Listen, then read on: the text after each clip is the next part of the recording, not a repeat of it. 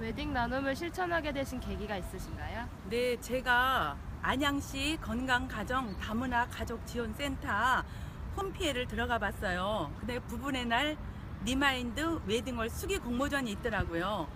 그래서 제가 40여 년 결혼 생활을 해오면서 아, 저의 결혼 생활을 다시 한번 점검하는 의미에서 수기에 공모하게 되었습니다.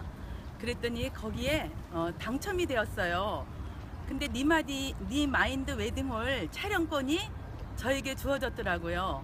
근데 저는 사실 지금까지 그래도 어, 무난하게 편안한 어, 건강 행복한 가정 생활을 해왔기에 다시 remind 웨딩홀을 하는 것보다는 안양시의 어, 다문화 가정이나 아니면 소외된 가정에 어, 결혼식을 못 올린 그런 가족이 있으면은 그분들한테 후원하고 싶었습니다.